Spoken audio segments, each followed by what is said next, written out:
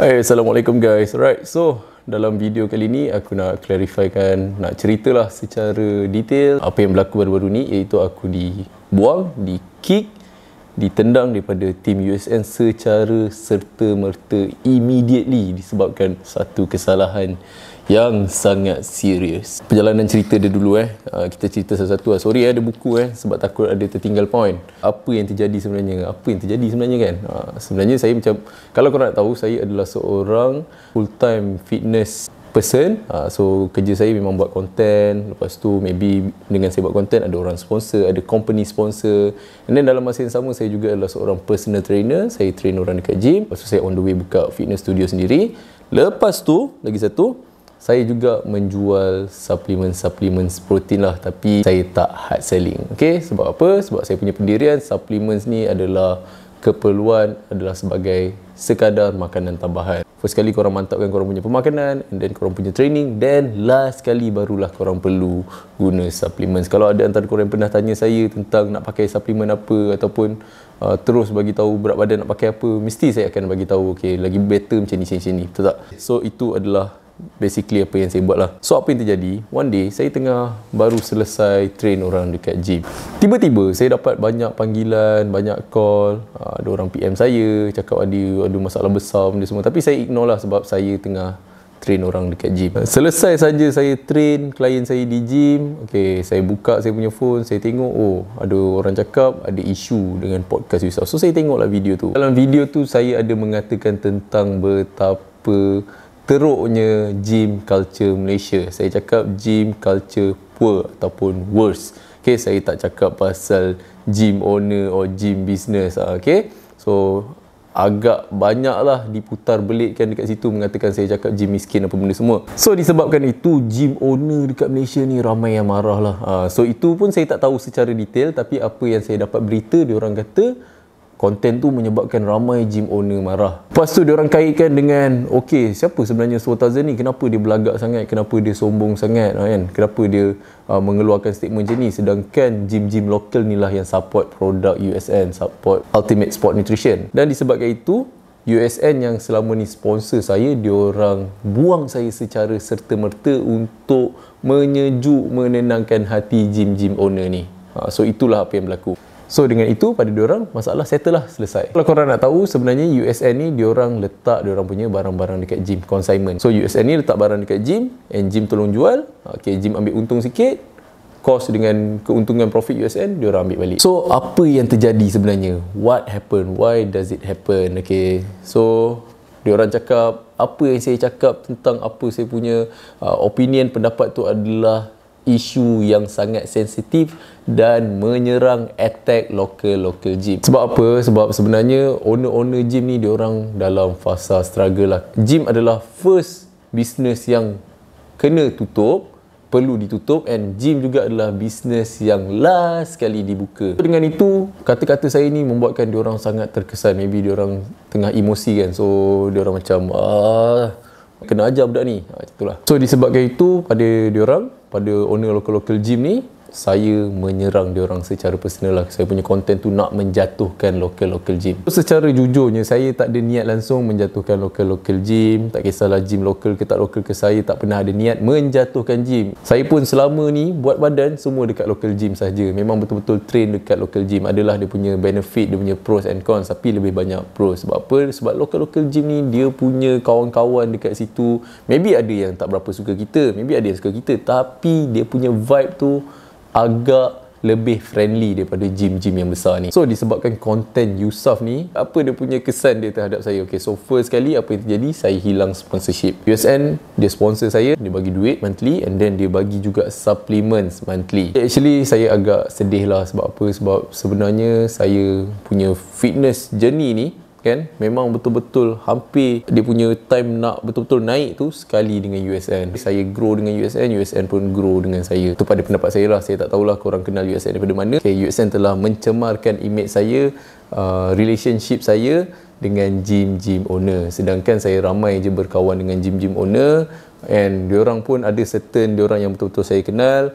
Yang cakap konten saya tu tak ada apa-apa pun sebenarnya. Just personal opinion. Maybe agak kasar tapi betul-betul sebenarnya tak ada apa-apa just macam uh, sharing apa saya punya pendapat opinion. Kalau korang nak tahu actually USN Malaysia ataupun di Gym Supplement diorang suruh saya buat permohonan maaf secara terbuka which is saya tak kisah pun untuk meminta maaf okey sekarang juga saya cakap sorry minta maaf kalau ada yang saya uh, menyakitkan saya menyakiti tersakiti sorry so itulah apa yang berlaku and macam mana saya nak menyelesaikan perkara ini Okay, so first sekali, diorang nak saya minta maaf. So, saya minta maaf. Minta maaf. No owner gym local Malaysia. Sorry sebab saya punya content tu maybe menjatuhkan uh, image gym local Malaysia menyebabkan korang lebih uh, kurang mendapat sambutan sedangkan saya sendiri pun sangat-sangat mensupport lah local gym Malaysia. Kalau korang nak tahu kebanyakan event saya pergi pun uh, diorang ada buat baju support local gym Malaysia selalunya saya pakai baju tersebut. Tapi tak apalah. Pasal ada cerita yang agak lawak sikit lah. Sebenarnya before saya dapat berita tu diorang suruh membuat permohonan maaf. Diorang cakap uh, buatlah permohonan maaf ni sebab gym-gym owner sekarang tengah marah sangat. Time tu saya baru betul-betul lepas habis train klien saya baru lepas balik uh, mandi-mandi apa semua duduklah kejap. Takkan nak terus buat video kan penat kerja. Lepas tu saya pun macam fikir uh, patut kena minta maaf? Sebab sebab still ada rasa macam eh, apa salah aku lah. saya, saya ada rasa tu lah apa salah aku? And actually saya pun ada pendirian juga. So dia jadi macam agak berat lah untuk minta maaf sebenarnya. Actually saya sendiri pun memang nak leave tim USN uh, sebab saya ada plan saya sendiri. Sudah lama saya dalam bidang ni saya ada plan untuk mengeluarkan saya punya suplemen sendiri. And ad- adalah plan-plan dia. Tapi dalam plan tersebut mungkin sebenarnya uh, lagi better saya boleh collab dengan USN boleh berbaik-baik dengan owner-owner uh, supplier distributor barang-barang suplemen gym ni. So itu adalah saya punya plan yang awal. Choice pertama tadi minta maaf and then just play along with USN balik buat macam tak ada apa just continue buat content benda semua or maybe choice kedua saya minta maaf. Lepas tu saya minta maaf juga terpaksa keluar leave USN ha, saya keluar secara baik lah macam mana saya masuk dengan baik dia orang sambut saya dengan baik saya pun keluar dengan baik. Macam itulah plan dia. Tapi saya baru baring-baring sekejap 30 tak sampai 30 minit lepas tu tiba-tiba dapat message katakan saya dah di-terminate dibuang secara serta-merta So benda tu um, agak agak macam okey macam ni je ke rupanya uh, ini je ke rupanya aku punya worth dekat USN ni. At least kalau saya pun tak tahu nak cakap apa sebab maybe dia orang ada dia orang punya reason macam itulah kehidupan bila tidak diperlukan kita dibuang begitu saja. Kalau korang nak tahu sekarang saya sebenarnya on the way membuka saya punya fitness studio sendiri. So fitness studio ni dia bukan gym tau. Dia adalah tempat untuk saya train saya punya klien secara personal tapi dia punya method of training betul-betul follow saya punya method 12 week program. So dalam program tu selama 3 bulan ataupun 12 minggu kalau korang follow betul-betul insya-Allah korang memang akan ada result yang sangat padu, result yang memberansangkan lah dan yang penting result yang realistik. Punya rate of charges apa benda semua ok, so saya bagi tahu sini je supaya korang boleh dapat dia punya idea lah. Right, so saya charge RM1,200 untuk 12 sesi ataupun 1 bulan tapi dia ada kontrak 3 bulan. Tapi lagi bagus, lagi nice saya ada buat package 3 orang sekali training serentak pada hari yang sama, pada masa yang sama dalam setiap satu slot ataupun session tu.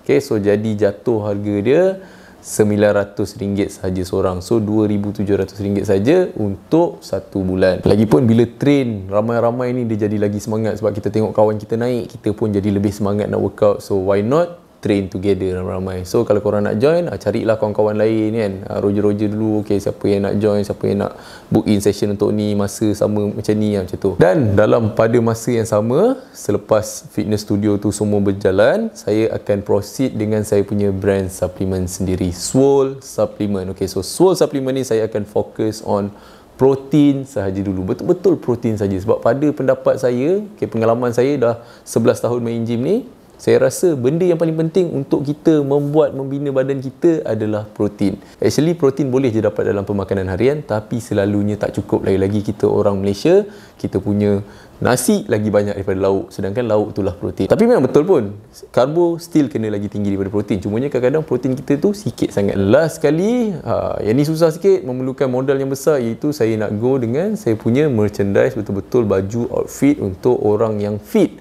Ha, bukan bukan maksud saya fit tu mesti sadar, katang, besar, gerabak semua tak. Badan yang fit. Biasanya orang yang badan-badan fit ni dia susah sikit nak cari baju, nak cari seluar, basically nak cari outfit lah. So saya planning nak buat satu business merchandise betul-betul outfit orang main gym. So outfit ni boleh lah korang nak pakai untuk casual untuk kelas ke untuk kerja ke tak kisah. So itu saja. Ha, okay, kalau korang ada pertanyaan lanjut korang boleh tanya kat ruang komen. And sedikit important comments lah yang harus dititik berat ditekankan. Ha, so benda-benda ni betul-betul controversial. Tapi tak apalah sebab diorang pun dah attack saya kan ada certain-certain individu certain-certain orang dah attack saya.